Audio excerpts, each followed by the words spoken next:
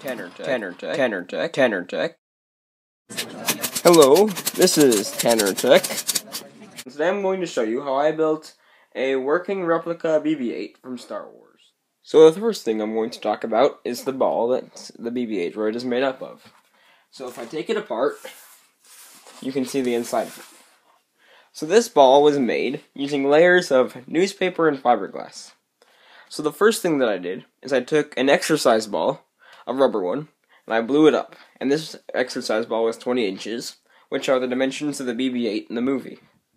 So what I did is I took some newspaper and I started layering it over the exercise ball using a glue and water solution.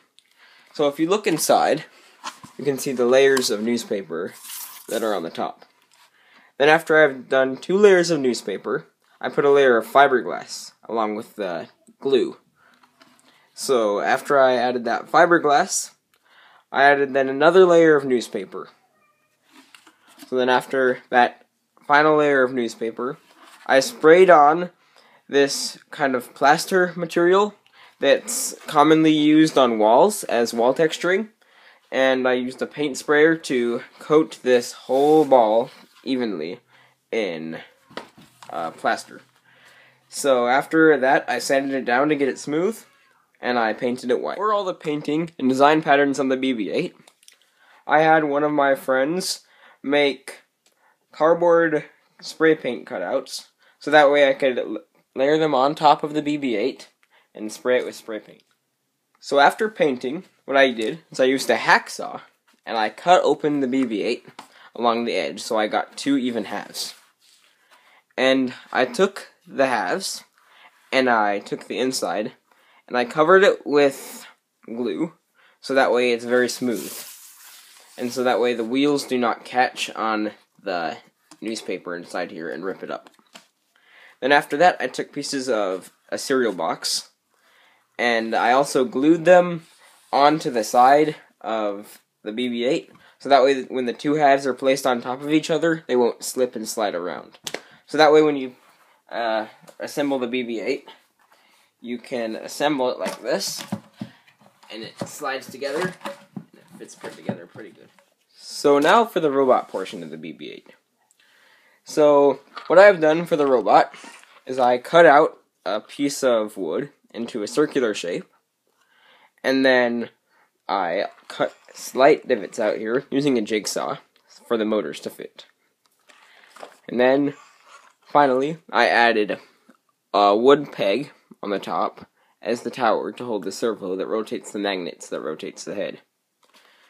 So, on this BB-8 body, I also used two ball bearings on the side to keep it from sliding around in the robot and rotating.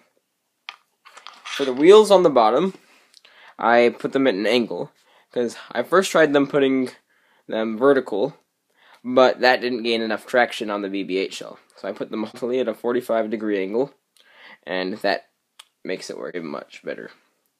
Now to attach the wheels to the motor, I had to make a specialized hub that I 3D printed. To attach the wheels to the body, I had to make some specialized uh, pieces of wood so I could screw it on at a certain angle. I just used a chop saw to make that angle.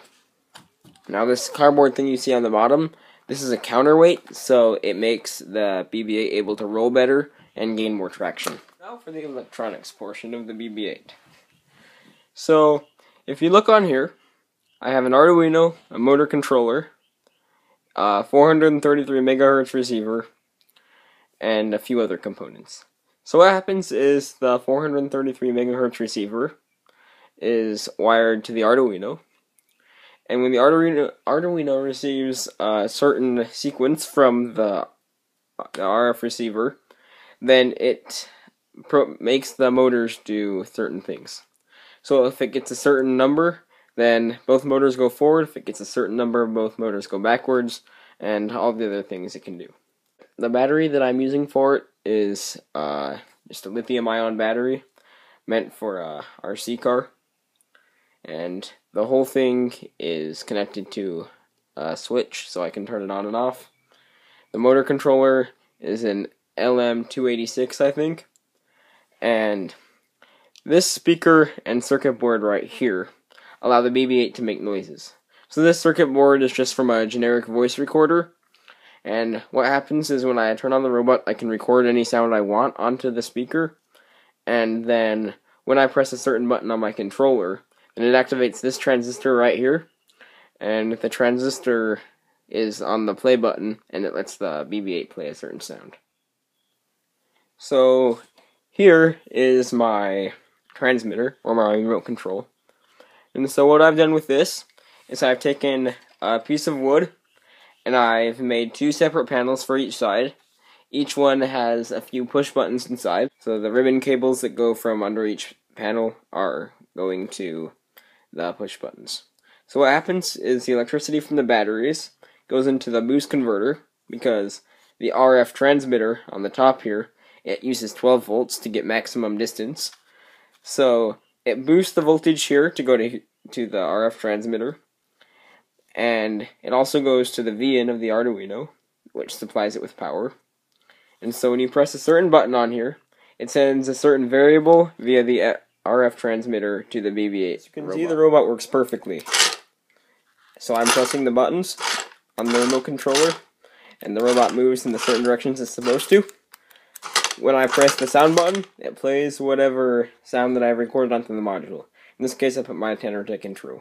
Hello, this is Tanner Tech. So, the robot works perfectly inside here. All the electronics work amazing. The servo spins according to the two buttons on here. And everything, electronics-wise, works awesome.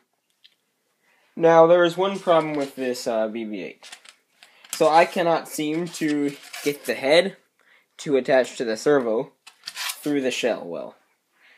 So my problem is I've tried using many different magnets. I've used these hard drive magnets, attaching them to the servo to attach the head through the shell. But I can't seem to find the right distance between the magnets and the head. Because if the magnets are too far from the head, the head falls off.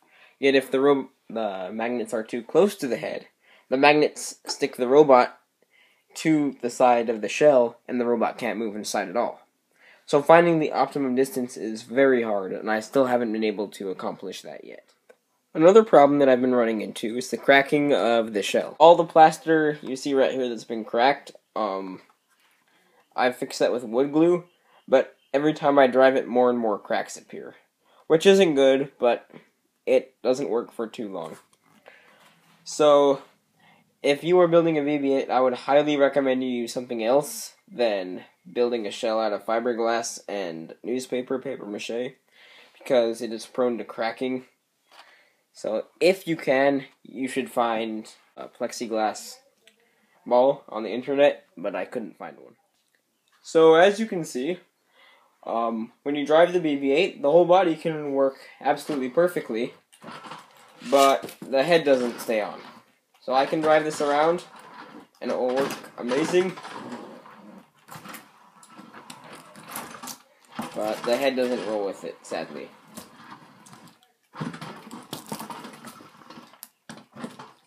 So, besides the problem with the head, this BB-8 works perfectly great. Now, thank you for watching and please subscribe.